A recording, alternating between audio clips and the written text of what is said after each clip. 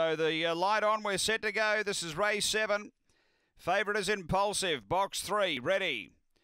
Racing, impulsive second last away. Speed from Radiant Way is going to drive and lead. A little purpose second, impulsive trying to get some room now. It's moving through, then correlate and back at the tail. My place Friday. The leader, little purpose though, gets away. Uh, clear over Radiant Way and then impulsive, but little purpose clear and too good. Little purpose beats impulsive. Third home correlate, uh, then Radiant Way and back at the tail in my place Friday. The time is around 19 and 50 after the running of race seven.